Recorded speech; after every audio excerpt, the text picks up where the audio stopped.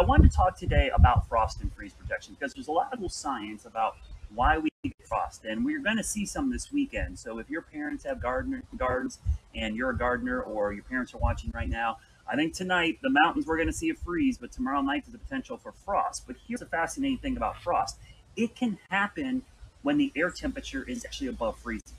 That's a big puzzling fact for a lot of people. Like, why do I frost on my car or my roof when it's 38 degrees outside? Well, it's a really good question. It has a lot to do with radiation budgets and how surfaces warm and cool. So let's talk first a little bit about how frost forms. So we first have to look at how frost is actually calculated.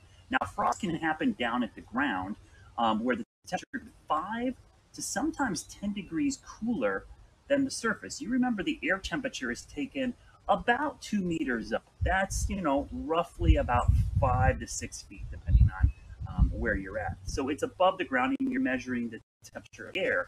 Down at the ground or the surface, it can cool just like a hot sunny day when the sun is beating down on the surface and the blacktop or the sand at the beach or the metal on your car gets way hotter than the temperature. That can happen at night in reverse when something has a view of the sky, it loses what we call long wave radiation. Everything gives off long wave radiation. If you've ever seen an infrared camera or FLIR, um, you can kind of see the, the shape of things in color. Warmer objects are kind of hot, they're kind of orange, red, yellow. Cooler objects are bluish. Well, we can see everything has some kind of heat. So on nights where we have clear skies, if you have an object out in the middle of the yard, it can radiate heat away from everything. So let me show you how this whole thing works. During the day, that incoming solar radiation comes down. Now, some of it is reflected by the atmosphere, clouds, and the Earth's surface. So some of it bounces straight back up. Now, some is absorbed by the atmosphere, where there's all kinds of different gases um, that absorb it. And then some is absorbed by clouds, um, some is conducted back up through rising air.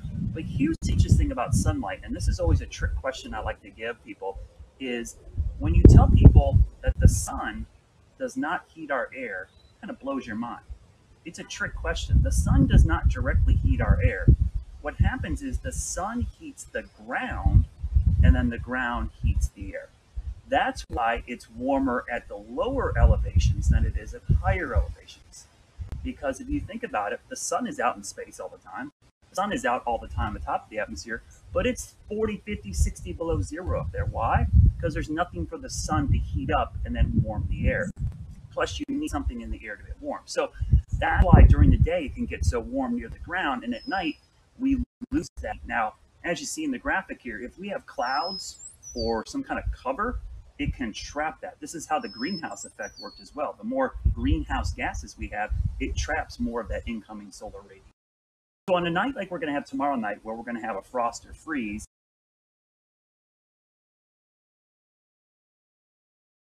anything to stay near the ground.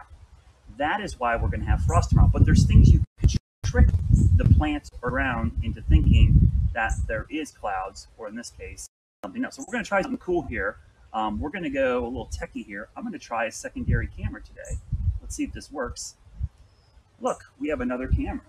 And I'm going to show you a couple things you can do around the house to protect yourself from a frost or freeze. So what I have today is an infrared thermometer. I'm going to flip the camera around here. Just my backyard here. And we're going to take some readings. So we're going to take some readings. Thermometer doesn't measure the temperature of the air, it measures the temperature of surfaces. So for instance, um, if I aim this at my hand right here, you can see a little laser right there. You can see 77.9. The air temperature is 59 degrees right now. If I walk around my yard, um, I can point it to different things. We'll try the camera again here. Let's see. Flip it around. We'll try flip to the secondary camera. I won't, this time I won't walk as far away from everything. So what I was going to do is real quickly show you some of the plants we have here. So if I were to take my thermometer and aim it at my plant, this is the bean plant, by the way, that we grew in the bag in one of our previous weather schools. So aim it there. 59.9. So that's pretty close to the air temperature. So how could I keep this plant warmer tonight? Well, one of the things I can do is covered up at night to trap the long wave radiation. But there's something else I can do. I can actually take water, take my watering can, water the plant, also water these. There's a little thing in there. Okay, we'll put the water in there. Now that water is going to be probably 50s or 60s down into the plant and get pulled up or into the soil, excuse me, and get pulled up into the plant. So tonight, this will cool, or even tomorrow night, this will cool much slower than, let's say, um, a plant that's completely dry. The thing about water is that water will actually retain heat much longer than something dry. So if you have plants away from the house, something like that, you need to water it tomorrow night or put a cover over it to trap the warmth in there. Now, plants that will do okay, plants near the house. Any of those plants, they will be okay because they'll get heat from those rocks from my from my patio and the side of the house. Anything out in the middle of the yard is going to have a little bit more of a trouble. So what you're going to want to do is you're going to want to tonight and tomorrow is go outside, water everything heavily before the frost or freeze comes in to retain that long wave radiation. The other thing you can do is put a blanket on it or cover it up. Just like in your bed, that's going to help keep you warm. So let's see if we can switch back to my other camera here. Go back this way. There we go.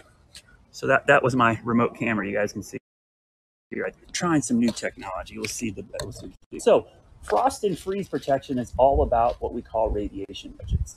Sunlight gets absorbed by everything during the day, and at night, we're trying to hold it in. We're trying to keep it in the ground, keep in the plants, or in our case, if we're cold, we try to keep it in our body. Now, our body generates heat, so that kind of helps, but anything outside doesn't generate its own heat. You try to save the heat that was stored during the day.